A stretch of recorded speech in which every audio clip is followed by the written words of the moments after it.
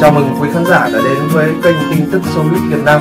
Kính chúc quý khán giả có những giây phút trải nghiệm thật tuyệt vời bên chúng tôi. Hé lộ ra thế khủng của thánh biểu cảm, lỗ phát cuồng vì Lisa. Mẹ là bà trùm bất động sản, cuộc sống sang đến nghẹt thở. Ngu Thư Hân, thí sinh được phong là thánh biểu cảm lố nhất C-Beat vì cách thể hiện cảm xúc quá đà với lisa đã khiến dân tình choáng ngập với gia thế khủng hậu thuẫn đằng sau. Những ngày qua, cùng với sự nóng từ tập 1 show truyền hình Thanh Xuân có bạn hai, cái tên Ngu Thư Hân bỗng nổi tiếng khắp các diễn đàn và mạng xã hội xứ Trung Quốc. Chỉ sau một đêm diễn, nữ diễn viên sinh năm 1995 này còn được gán với biệt danh thánh biểu cảm nố nhất xe buýt. Bởi những hình ảnh thể hiện cảm xúc quá đà, đặc biệt cuồng Nisa, không chỉ vậy còn tỏ thái độ phụng phịu hờn dỗi với chính huấn luyện viên của sâu. Nhiều người đã ngay lập tức tìm được những thông tin liên quan đến cô nàng này và hoàn tất bất ngờ trước ra thế khủng của Ngư Ngu Thư Hân. Bố cô được trang HX nhấn mạnh thân thế không hề đơn giản. Còn mẹ cô sở hữu công ty riêng điều hành hàng loạt bất động sản, nhà hàng, khách sạn.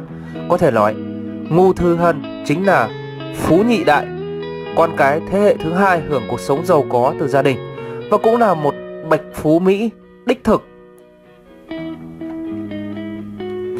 Thư hưởng cuộc sống nhung lụa, ngậm thìa vàng từ trong trứng nước. Ngu Thư Hân gia nhập làng giải trí vào năm 2015, muộn hơn so với nhiều người. Nữ diễn viên trạm kế tiếp hạnh phúc, sinh năm 1995, tốt nghiệp trường học viện nghệ thuật Lhasa của Singapore. Cô nàng từng tham gia show Ground One và mỗi lần xuất hiện đều gây ấn tượng với hình ảnh sang chảnh kiêu kỳ. Điều đáng nói sau khi tốt nghiệp xong, Ngô Thư Hân ngay lập tức trở thành cổ đông lớn nhất của công ty gia đình. Dù rằng mới 25 tuổi nhưng người đẹp này đã đầu tư tiền tỷ của rất nhiều công ty lớn nhỏ với mục đích trở thành cổ đông lớn.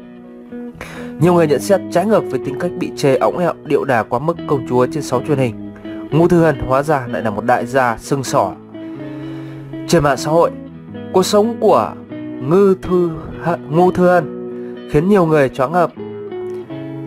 Cô nàng du lịch khắp năm châu bốn bể, diện quần áo sang chảnh có mặt tại các sự kiện thời trang lớn nhỏ. Bức ảnh cô nàng thân thiết chụp ảnh với Phạm Băng Băng tại Thái Lan. Cách đây nhiều năm bất ngờ hot trở lại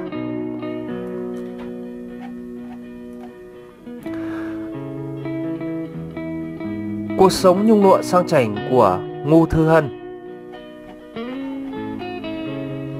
Cô nàng không ngại ngần khoe à, trên mạng xã hội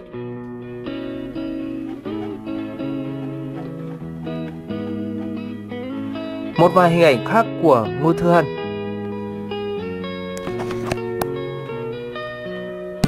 Cảm ơn quý khán giả đã theo dõi video clip. Nếu hay, quý vị hãy à, chia sẻ và đăng ký kênh để ủng hộ kênh càng ngày càng phát triển. Xin trân trọng cảm ơn quý vị 真的有。